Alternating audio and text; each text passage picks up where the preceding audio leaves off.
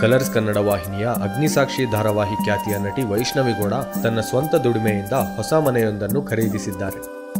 ಶಾಸ್ತ್ರೋಕ್ತವಾಗಿ ತಮ್ಮ ಹೊಸ ಮನೆಯಲ್ಲಿ ಗೃಹ ಪ್ರವೇಶವನ್ನು ನಟಿ ವೈಷ್ಣವಿಗೌಡ ಹಮ್ಮಿಕೊಂಡಿದ್ದರು. ಈ ಗೃಹ ಪ್ರವೇಶದಲ್ಲಿ ಬಿಗ್ ಬಾಸ್ ಮನೆಯ ಸಹಸ್ಪರ್ಧಿಗಳು ಸಹ ಭಾಗಿಯಾಗಿದ್ದರು.